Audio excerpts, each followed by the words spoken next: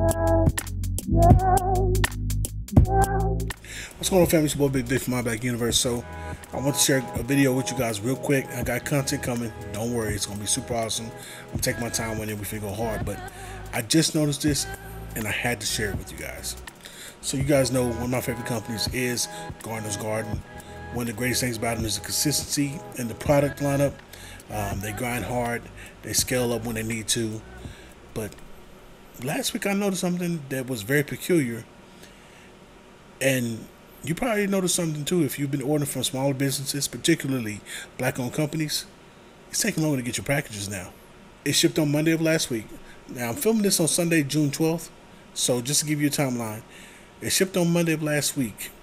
Usually I get my package by Wednesday, no later than Thursday if it ships on Monday.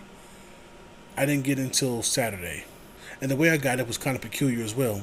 So I'm used to, you know, USPS doing their thing. We know they're kind of slow. Now, if there was a delivery Olympics, we know USPS wouldn't even make the podium. That being said, I expected to get my package through USPS. Well, that didn't happen this time. I get two packages dropped off from unlikely delivery, which I didn't know they were going to deliver it, and it was UPS. Now, before you say anything, it is not uncommon for UPS to deliver packages for other companies, but it has been so long since I've seen that. I was like, what in the world's going on? Especially when you're delivering a package from a small black owned company and for Amazon.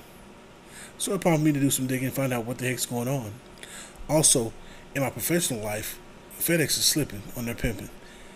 We've had delay after delay after delay.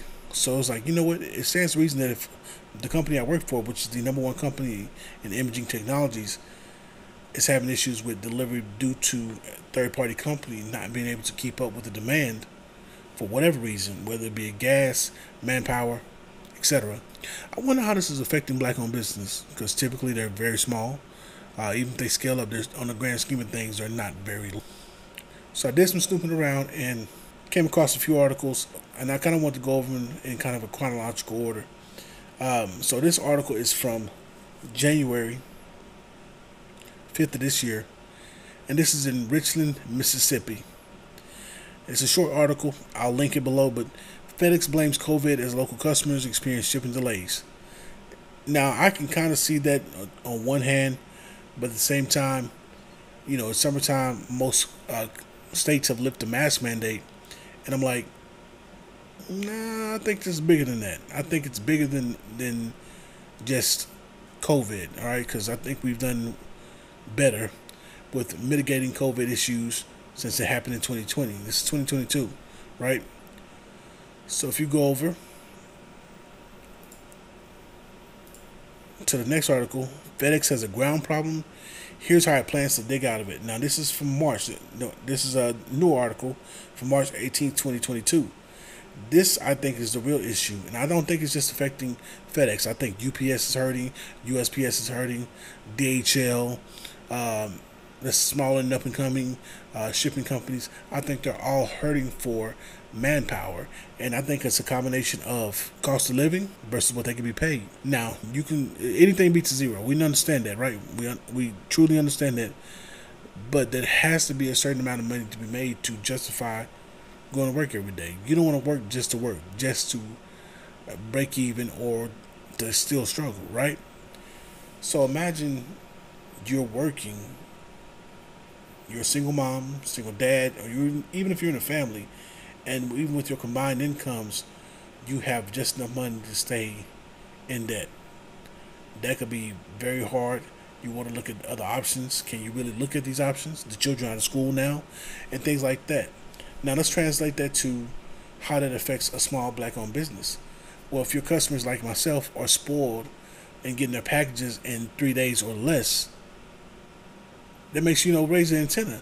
And I don't want to misdirect any energy and say, oh, well, we need to go out to black-owned companies or these small companies. Look, the company I work for is struggling not because it's not doing its best to meet customer demands, but because companies outside of ourselves are struggling. And I want us to take that in mind or keep that in mind going forward, not to misdirect our frustrations with these black owned companies, but with the shipping companies You know, we need to hold them to a standard. They understand what's going on. There's people who are higher up who get paid to take these issues and mitigate them and find solutions.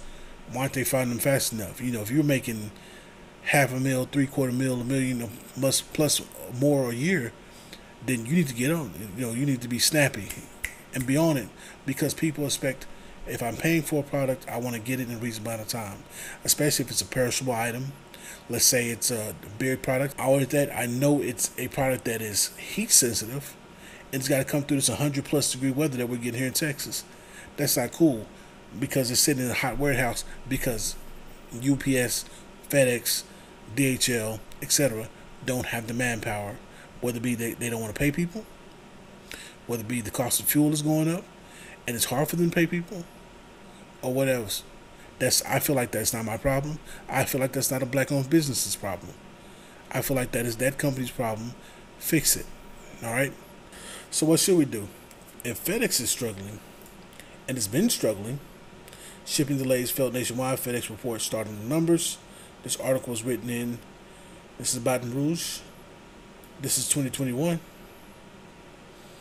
You can go back even further. It's 2020. It's 2020 when they were having issues late that year.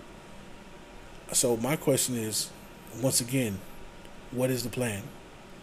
As consumers, do we just say, "Hey, we understand," and we rock with these companies, or do we try to figure out a way to put pressure on the shipping companies and say, "Hey, you need to make something shake," or does somebody come out of the woodwork, throw a hail mary pass, and becomes the darling of the shipping industry? Let me know your thoughts in the comments, which is right below the like button. Make sure to share this video. Until next time, peace and black empowerment.